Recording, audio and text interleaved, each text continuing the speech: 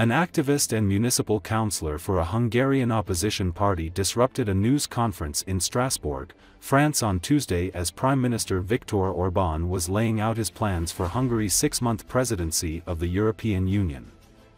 The activist, Martin Gajewczycki, interrupted Orbán as he was speaking about his opposition to immigration, running toward the podium where Orbán sat and throwing a stack of what appeared to be banknotes at the Prime Minister.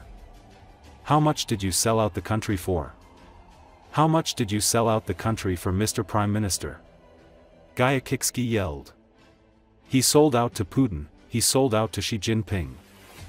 The disruption came as Orbán was set to address the European Parliament on Wednesday during Hungary's six-month rotating presidency of the bloc. His government has long been at odds with the EU over what it sees as his curtailing of democratic rights, and has increasingly come under fire for his close relations with autocracies like Russia and China.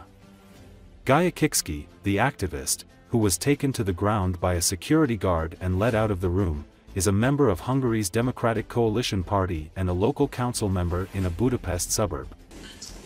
Európa Mennyire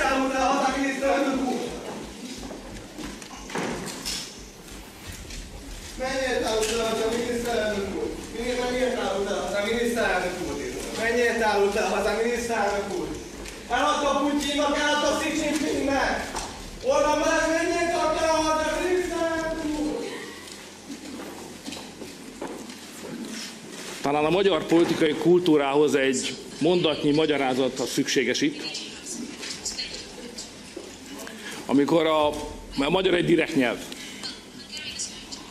és a kommunikáció is meglehetősen durva. De amikor egy magyar politikus azt mondja a másiknak, hogy gazember,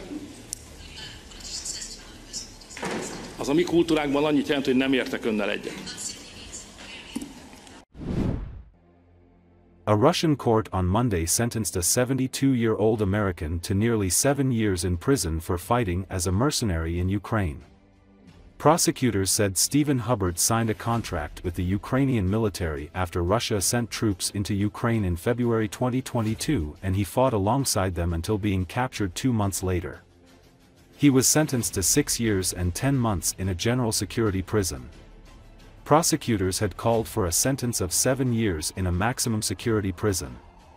Hubbard, from the state of Michigan, is the first American known to have been convicted for fighting as a mercenary in the Ukrainian conflict. The charges carried a potential sentence of 15 years, but prosecutors asked that his age be taken into account and that he had admitted guilt, Russian news reports said. Arrests of Americans have become increasingly common in Russia in recent years. Concern has risen that Russia could be targeting U.S. nationals for arrest to use later as bargaining chips in talks to bring back Russians convicted of crimes in the U.S. and Europe. The U.S. and Russia in August completed their largest prisoner swap in post-Soviet history, a deal involving 24 people, many months of negotiations and concessions from other European countries, which released Russians in their custody as part of the exchange. Several U.S. citizens remain behind bars in Russia following the swap.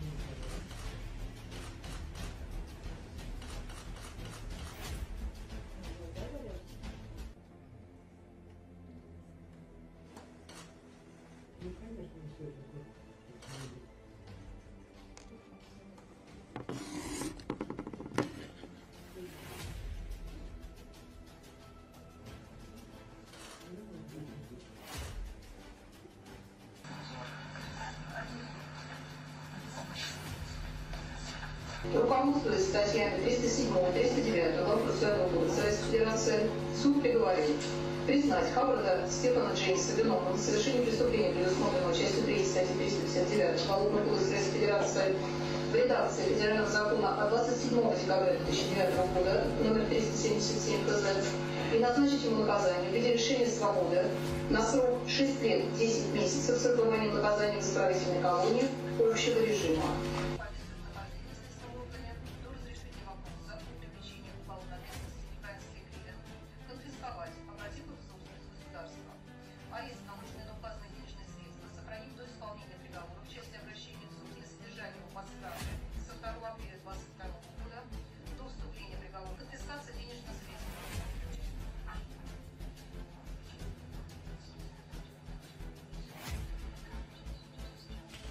Там э, пожилая всегда женщина в э, красной э, куртке.